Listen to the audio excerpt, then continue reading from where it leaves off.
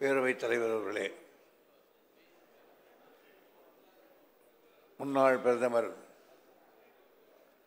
மண்டல் கமிஷனுடைய நாயகர் விபி சிங் அவர்களுக்கு சென்னையில் ஒரு சிலை நிறுவப்படும் என்கிற ஒரு அரிய பெரிய செய்தியை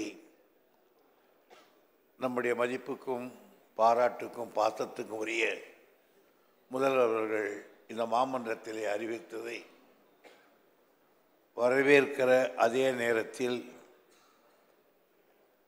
நான் முதலமைச்சரை முதலில் எப்படி பாராட்டுவது என்று எனக்கு தெரியவில்லை. காரணம் ஒவ்வொரு நாளும் சட்டமன்றத்தில் ஒரு வரலாற்று செய்தியை ஒரு வரலாற்று செய்தியை அறிவிக்கிறார்கள். நாங்கள் எல்லாம் கலைஞரோடு இருந்தவர்கள்.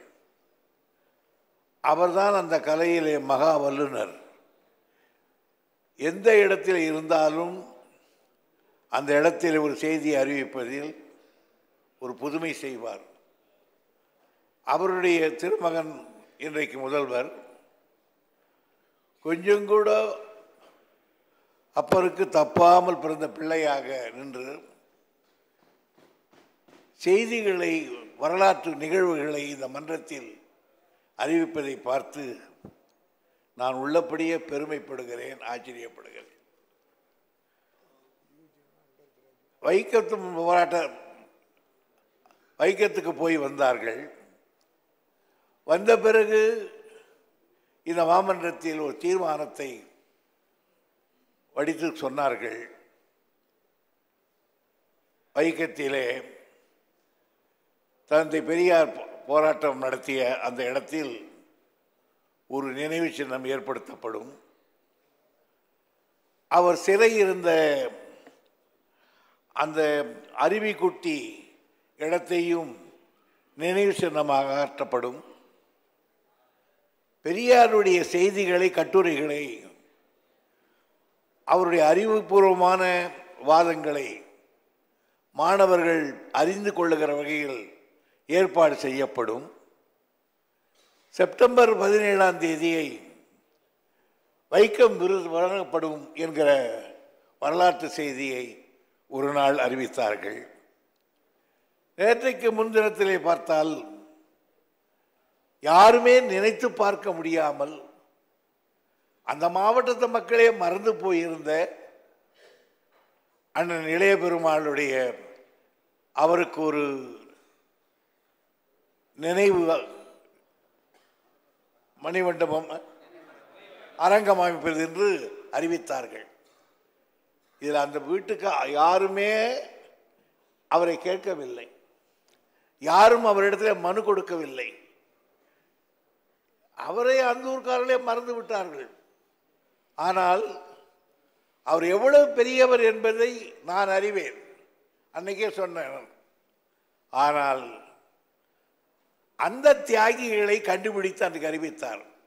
ஒரு வீரன்தான் இன்னொரு வீரனை புகழ்வான் பாராட்டுவான். ஒரு தியாகி தான் இன்னொரு தியாகியை கண்டுபிடித்து அவனை பாராட்டுவான். அந்த தியாகத்தை புரிந்தவர் நம்முடைய தலைவர் முதல்வர் அவர்கள். எனவே இளைய பெருமாள் என்ற தியாகியை கண்டுபிடித்து அன்றைக்கு அறிவித்தார்கள். இன்றைய தினம் நம்முடைய விபி சிங் அதையும் யாரும் நினைக்கவில்லை. விபி சிங் பிரதமராக இருந்தார் இருமுறை இருந்தார் மண்டல் கமிஷனை கொண்டு வந்தார் நம்முடைய காவேரி பிரச்சனையை தீர்த்தார். பிறகு அதோடு அவருடைய சரித்திரம் முடிந்து போய்விட்டது. இப்படித்தான் பல வரலாற்று செய்திகள் நாளாவடியிலே முடிந்து போய் வருகிறது. தமிழ்நாட்டை பொறுத்த வரையில் வரலாற்று செய்திகள் இல்லாத ஒரு நாடு.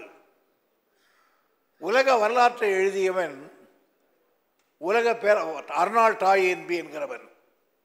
அந்த அர்னால் டாய் என்பி சொன்னான் வரலாற்றை மறந்த இனம் நினைவிழந்த மனிதனுக்கு சமம் என்று சொன்னான்.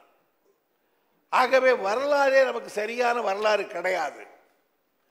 அந்த வரலாற்றை ஊக்குவிக்கிற அடையாளத்துக்கு எதுவும் கிடையாது.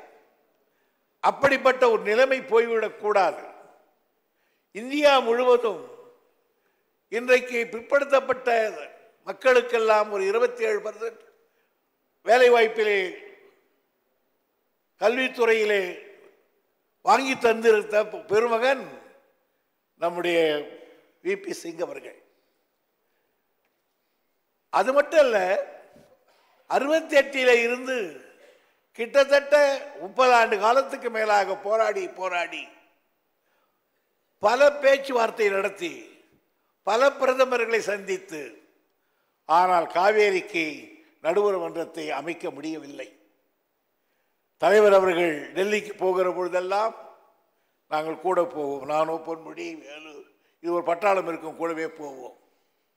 பேச்சுவார்த்தை நடந்து கொண்டிருக்கிறது.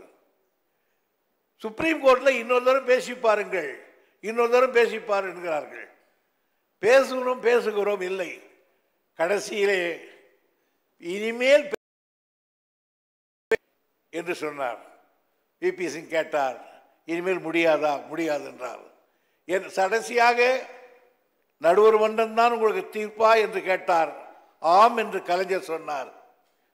இரண்டு மணி நேரத்துக்குள்ளாகவே காவேரிக்கு ஒரு ட்ரிபுனலை அமைத்து கொடுத்த பெருமகன் நம்முடைய விபிஎஸ் சிங் அவர்கள். அன்றைக்கு அந்த ட்ரிபுனல் மட்டும் அன்றைக்கு விபி சிங் இல்லாவிட்டால் இந்த மன்றத்தில் சத்தியம் செய்து சொல்லுகிறேன். காவேரிக்கு நடுவர் மன்றமே வந்திருக்காது. வரக்கூடாது என்பதுதான் பலருடைய விருப்பம். பல அரசியல் சூழ்ச்சிகள். ஆனால் அன்றைக்கு தலைவர்களிடத்திலே அவருக்கு அலபரிவிதமான மரியாதை. போன்லே சொன்னார் இனி முடியாது என்று. போன்லேயே சரி உடனே கூப்பிட்டார். எனக்கு சொன்னார் இங்கே காமராஜருடைய பெயரையும் அண்ணா பெயரை வைத்தார். பீச்சில் மீட்டிங் பேசுகிறார் தலைவர். உடனே விபி சிங் மேடையை விட்டு இறங்கி பின்னால் வந்து விட்டார். நாங்களாம் அங்கே இருக்கிறோம் அங்கிருந்து பிரைம் மினிஸ்டருக்கு தான் தெரியுமே உடனே அங்கே இருக்கிற ரைட்டிங் கால் போட்டு கேட்குறார் வைக்கலாமான்னு கேட்டுட்டு உடனே அறிவித்தார் நான் பல பிரதமர்களை இந்த காவேரி விஷயமாக பார்த்திருக்கிறேன். ஆனால் இரண்டு பிரதமரோடு நெருங்கி பழகியிருக்கிறேன். ஒன்று வாஜ்பாய் அவர்கள் இன்னொருவர் நம்முடைய விபி சிங் அவர்கள். வாஜ்பாய் இடத்துல மிக மிக மிக நெருக்கமாக பழகியிருக்கிறோம்.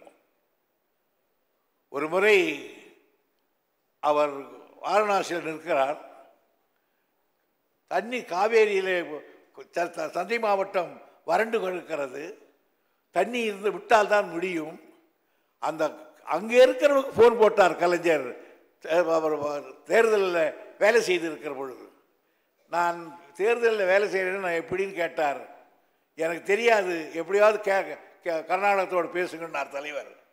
வாஜ்பாய் கூட அவ்வளவு மரியாதை மரியாதை வச்சிருப்பார். உடனே வாஜ்பாய் சொன்னார் இன்னைக்கு நான் போயிடுவேன் நைட் லேட் நைட் டெல்லிக்கு போவேன். காலையில் துரைமுருகனை வர சொல்லுன்னார். அஞ்சு மணிக்கு அவர் வீட்டுக்கு போனேன் பாவம். சிவப்பான கண்ணோடு பேசி என்ன வேணும்னு கேட்டு வாஜ்பாய்க்கு பேசி வாங்கி கொடுத்தவர் கலைஞர் இடத்துல மரியாதை. அப்படி ரெண்டு பிரதமரை நான் பார்த்துருக்கேன். ஆகவே அப்படிப்பட்ட ஒரு பெரிய மனிதர் நம்முடைய பிபி சிங் அவர்கள். அவ்வளோ எளிமையானவர். முதல் தரம் பிர- பிரதமர் இரண்டாவது எப்பொழுதெல்லாம் யார் யார் பிரதமராக வருவது என்பதை பற்றியெல்லாம் தலைவர் தான் அவர்கள் உட்கார்ந்து பேசுவார்கள். கடைசியில் தலைவர் என்ன முடிவு சொல்லுகிறாரோ அவர்தான் பிரதமர். குஜராலும் அப்படித்தான் வந்தார். தேவகவுடம் அப்படித்தான் வந்தார்.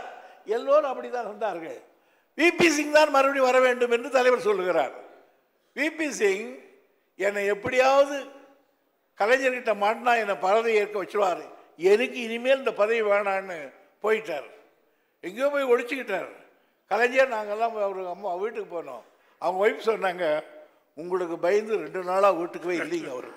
எங்கே இருக்காருன்னு தெரியல என்று சொன்னார்கள். ஆகவே பதவி வேண்டாம் என்று சொன்ன பெரிய மனிதர் இந்தியாவில் அப்படிப்பட்ட ஒருவருக்கு வழிமன்றம் வச்சிருக்கார். எனவே நம்முடைய தலைவர் அவர்கள் முதல்வர் அவர்கள் சில சொன்னார் நம்முடைய முதல்வர் அவர்கள் அந்த சிலையை வைப்பதன் மூலம் அதுதான் சிலையெல்லாம் அப்போ அண்ணா வைக்கிற பொழுது கூட சொன்னார் அந்த சிலையை பார்க்கும் போதாவது அவங்க யார் என்ன செய்தார்கள்னு கொஞ்சம் தெரியும் வேண்டாமான்னு. ஆகையினால் அந்த சிலையை இங்கே வைப்பதன் மூலம் அதை பத்து பேர் பார்க்கிற முழுதும் யார் இவர்? இவர்தான் மண்டல் கமிஷன் கொண்டு வந்தவர். நான் அந்த மண்டல் கமிஷன் அடிப்படையில் தான் நான் வேலை பெற்றவன்.